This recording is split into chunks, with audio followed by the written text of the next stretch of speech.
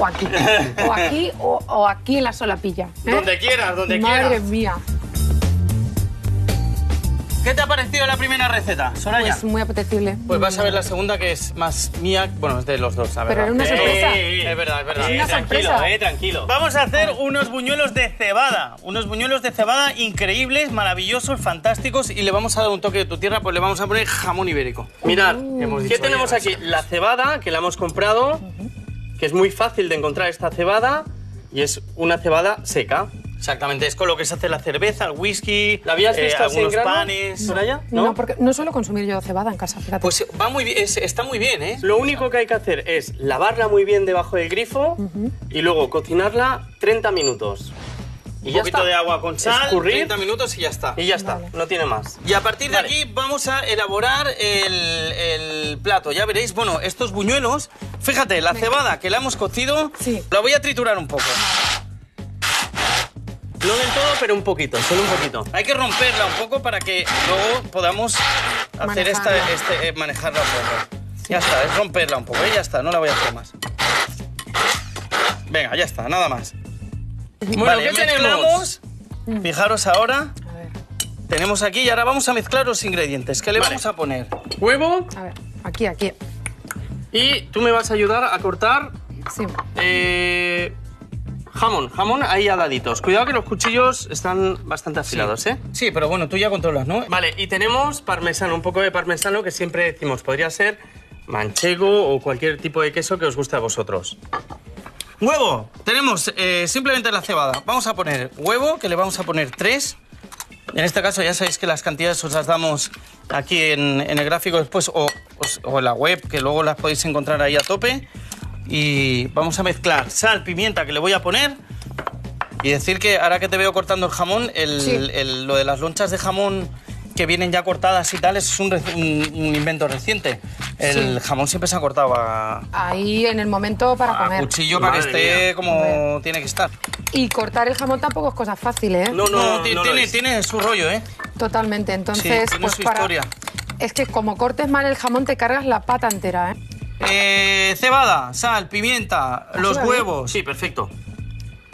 queso rallado. Toma. Oye, me, ha gustado mucho, Soraya, el, eh, la canción que he escuchado del nuevo disco. Sí, Te se lo tengo que decir, ¿Te tía, me ha gusta? gustado muchísimo. Pues se llama Qué bonito. Ah, mira, toma ya. Qué Qué bonito. Es verdad. Y Sí, bueno, sí, sí. pues ha sido mm, ha sido el himno de la Copa del Rey de Baloncesto que acaba de pasar. Toma ya. Es, un- es una canción pues muy alegre que tiene un mensaje muy positivo, que habla de que no haya de que no haya barreras, de ayudarnos unos a otros. Exactamente, tenemos ahí el videoclip que... Qué bonito amanecer cada mañana. Qué bonitos tus ojitos de esperanza. Qué bonito estar con gente que te ama. Tenerte conmigo, tenerte conmigo. ¡Qué Qué guay, es muy bonita. Sí, tiene una letra muy, Muy muy positiva, ¿no? Sí, sobre todo para dedicársela también a gente que, te, pues, que tú quieres, que admiras. Tiene un mensaje muy, muy, muy especial. Ah, sí, qué chulo. Qué guay. Y bueno, pues me está dando muchas alegrías. Mucha gente me escribe y me dice, oye, me pongo todas las mañanas tu canción. O incluso, mira, también es buena para ponértela aquí cocinando, ¿verdad? No, pones- claro que sí, te da un rollo que no veas. Y más si la tienes en directo ya es la leche. Dame, nosotros vamos. Vamos a ponerle aquí un toque de. Javier le ha puesto jamón, le voy a poner comino. ¿Y qué, qué hierba te gusta a ti? Por Eh, ejemplo, así de, de, de lo que tienes aquí, de lo Mira. que puedes ver aquí. Hay La que tú salvia. quieras, la que creas que combina con esto. Hay orégano. Salvia, salvia- la salvia me gusta mucho. A mí también. eh, mucho. Venga. Pues salvia Venga, pues salvia le podemos poner. Yo intenté tener un pequeño... mm, Huerto. Sí, huertito de esto de, de- de plantas, pero no sé por qué se me estropearon en casa. No sé si es que necesitan. Bueno, la planta es que luego necesita bastante tierra, necesita un punto de luz, eh, un mínimo de luz. O habrá, y- o habrá sido que los gatos se la han comido. También Puede ser. Eso puede ser. Puede ser. Eso puede ser también. También.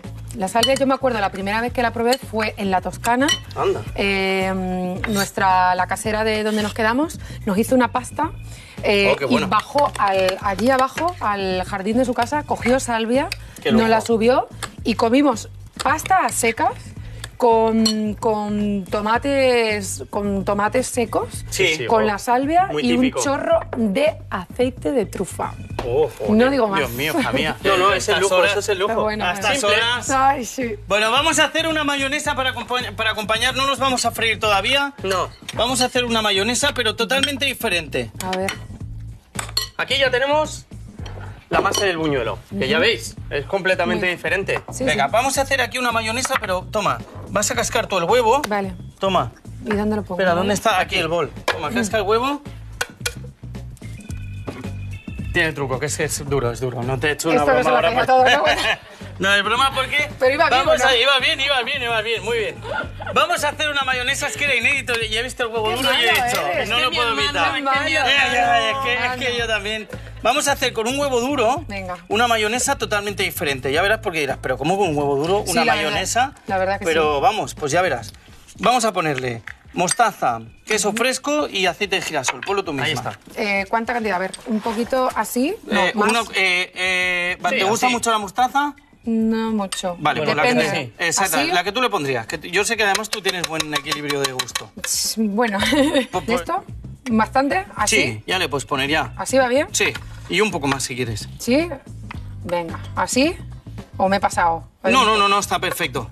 Ala. Y algún día, si por ejemplo el queso crema lo tenéis muy duro, pues un poquito al baño María y así tapado. Tapa- y también va muy bien, exactamente, se ablanda rápido. Aceite. Mm, Aceite de girasol, venga. ¿Le he hecho cuánto? eh, eh, pónselo todo. Es que a mí me da todo, a mí Pónselo me da todo. bastante miedo el tema de los ingredientes, porque a veces... es ¿Cómo muy- medir, no? Claro. mm, Eso de al ojo, como decían nuestras madres, nuestras abuelas, eh, al ojo... La verdad es que nosotros aquí lo tenemos todo bastante controlado y bastante medido sí. porque lo, lo- lo medimos y luego también es el...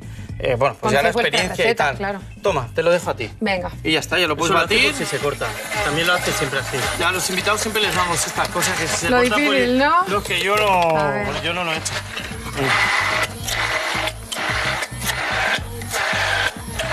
¿Cómo voy? ¿Cómo voy? Perfecto, ya está. Fantástico. Yo pondría unas gotas de... Espera, que voy a poner A unas gotitas de, de limón que le va a ir muy bien. Y vamos a probarlo, pero bueno, que está bien, ¿eh? Yo ya la veo. Vamos ahí. Mm, qué buena. Venga ahí. Dale, Eso te, te va a ayudar a ligar más, ya lo Mejor. veis. Si ¿no? quieres ponerle un aceite de sésamo, un aceite de otra cosa que tú quieras, de trufa antes de hablar, pues para Pero la que- trufa, a mí me encanta. Todo lo que tiene que ser trufa me encanta. A nosotros también. ¿Verdad? Yo creo que ya está. ¿eh? Perfecto, ya lo tenemos. Venga, Ahí perfecto. Ahora vamos que a poner saco un poco aquí en este, en este tarro. Yo voy a poner... eh, ¿Qué hacemos? ¿Probamos primero tu postre o frío los buñuelos? Eh, pues yo creo que de momento, por favor, dejarme que saque el postre Venga, hecho. y lo observemos y luego ya veremos. Estamos Vale. todos con una curiosidad tremenda. Ah, ah, bueno, os voy a ir explicando un poco. Vale. Vale. Mientras yo voy friendo los buñuelos, va. Vale. Yo voy haciendo los buñuelos. A ver qué os parece. Aquí os he traído una pequeña muestra. A ver. Aquí os recuerda. A ver. Bueno, pues a mí así me parece una especie de tofe, una mousse, ¿no? ¿Yo lo puedo probar? Venga, métele ahí el dedillo. Venga, va, con el dedo. sí, sí. Mira, Ostras, Uy, sí. es un poco... es un poco ¿qué? A ver. Una baba, ¿no? Está Un poco, como- sí. Mira. Pues eh, se le llama baba de camello. Este postre originalmente... Baba de Baba camello. de camello. Baba de camello. ¿De verdad? Sí, es un postre originalmente portugués.